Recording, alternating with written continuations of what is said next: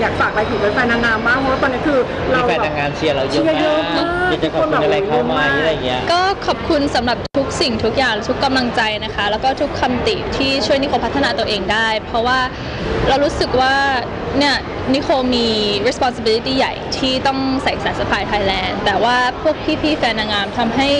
ภาระของนิโคเบาขึ้น เพราะว่าทุกคนเป็นกำลังใจให้นิโคอยู่ตลอดเวลา ก็อยากขอบคุณที่เป็นคนน่ารักที่สุด แล้วก็ขอบคุณสำหรับทุก message ที่ส่งเข้ามาใน DM แล้วก็ฝากเป็นกำลังใจต่อไปนะคะ แล้วก็อีกอย่างหนึงที่อยากฝากคือไปดาวน์โหลดแอป Mobstar นะคะ เพราะว่าเป็นการโหวตของ Miss World เลย ก็ฝากไลค์ฝากแชร์ฝากคอมเมนต์บนทุกๆรูปที่นิโคโพสต์ด้วยนะคะค่ะขอบคุณนะคะขอบคุณค่ะ